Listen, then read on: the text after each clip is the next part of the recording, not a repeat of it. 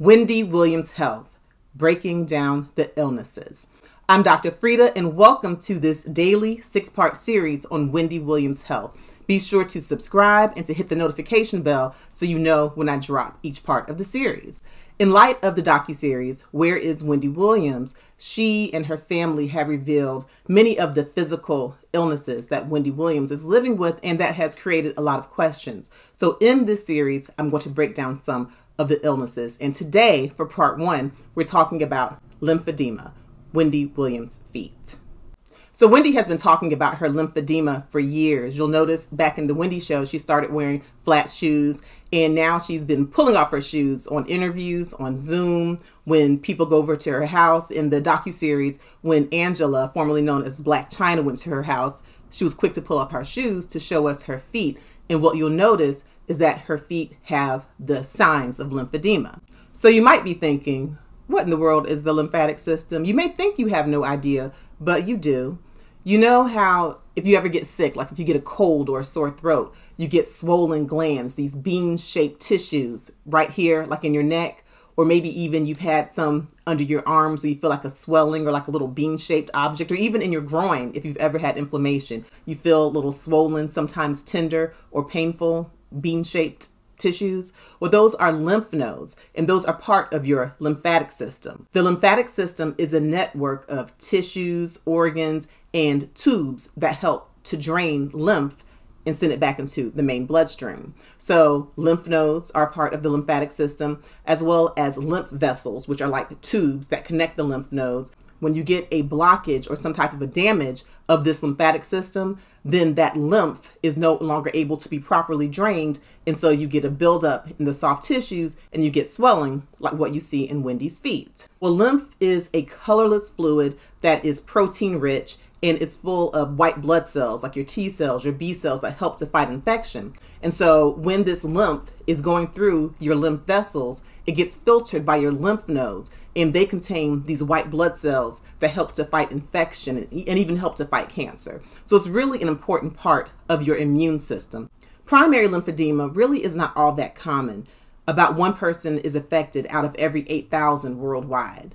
And women tend to be affected more often than men. As far as the symptoms of lymphedema, it usually affects a limb, like an arm or a leg, and it'll cause swelling. Or in the case of Wendy Williams, you see the swelling of her feet and her ankles. So it can cause that swelling. It can even cause a tightness or a heaviness in the limb. You can also get a thickening of the skin and you can get a fibrosis. And sometimes the skin gets very thick and the pores get large and it almost looks like an elephant's skin in the affected area. You can also get a distortion of the limbs. For example, with very swollen feet from lymphedema, the toes can start to become unaligned. It can be caused by cancer or a tumor that causes a blockage of the lymphatic system.